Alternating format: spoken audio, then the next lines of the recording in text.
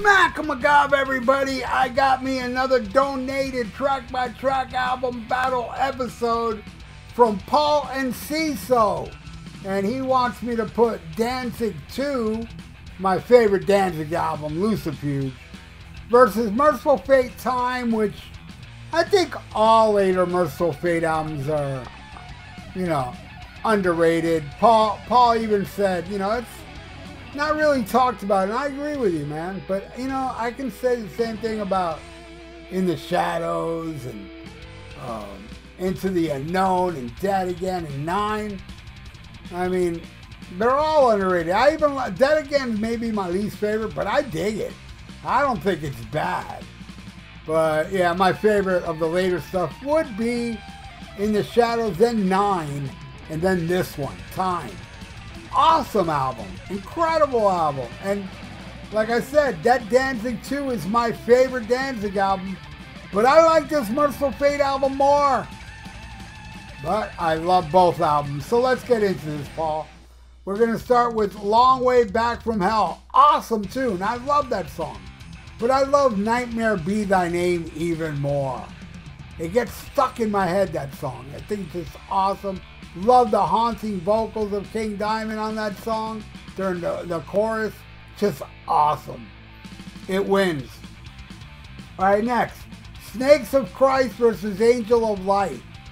I'm going to go with Angel of Light, man. I love Snakes, Snakes of Christ, but Angel of Light brings back the word Lucifer in Mercyful Fate music.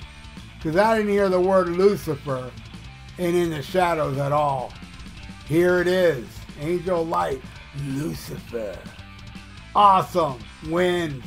Next, Killer Wolf versus Witches, uh, Witches Dance. Um, you know, I'm not a big fan of blues, but I don't mind the Killer Wolf type blues. It's good, it's stinky, it's awesome. I'm still going with Witches Dance. Dancing the Dead. I love it. All right, next. Tired of being alive versus the Mad Arab. Finally, Danzig gets a point. I don't hate the Mad Arab, but I'm. Uh, it's weird that there's, then the next album has a sequel to this song. Wacky. Anyway, whatever. Next, uh, I'm the one. And, you know, I love it. It's a killer acoustic jam, but I love my demon even more, so I'm giving another one a Mercyful Fate. All right, next. Her Black Wings versus Time. Both great, but I gotta go with Her Black Wings. You know, a lot of people always point at Guns N' Roses stealing Zero the Hero from Black Sabbath. Well, I hear Zero the Hero from Black Sabbath on this tune as well. And it's a badass song. I love it. And I love Time, but I'm giving that to Danzig. All right, next. Devil's Plaything versus The Preacher. Devil's Plaything, one of my favorite tunes on here. Just a badass tune. And I dig The Preacher, but not even close. Gotta give that one a Danzig. Alright, next 777 versus Lady in Black. Lady in Black is the dark horse on here. I love the hell out of that song, and it wins. Alright, next Girl versus uh, The Afterlife. No, I'm sorry. Blood and Tears uh, versus Mirrors. I'm going with Mirror. Uh, Blood and Tears a little too bluesy for my taste. My least favorite song on here. All right, next, Girl versus The Afterlife. Definitely The Afterlife. And I don't, I think Girl's a cool tune, but The Afterlife, man, I like much more. All right, then we end it with Pain in the World versus Castillo de Muertes, or Mortes. Um, Love them both, but this one I'm definitely giving to Danzig.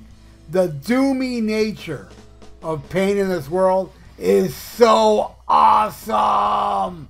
So I'm going to give it to that one. So Paul Enciso, this is the final score. Yeah. Yeah, Mercyful Fate won by a lot, and I like it. I like it more than my favorite Danzig album, Danzig 2 Lucifuge. Paul, thank you so much, buddy. You rock. I hope you enjoyed this track by track album battle I, I've done for you. And I hope everybody else out there enjoys it. And I thank you all for your time checking out my video. I would love it if you're not subscribed to my channel to subscribe and press that little notification bell. And hey, leave your comments below if you know Lucifuge and time and let me know what you think. I would love that. And, uh, oh, like the video because it's good for the YouTube algorithms. So stay frosty. Listen to Black Sabbath and smack 'em a gob.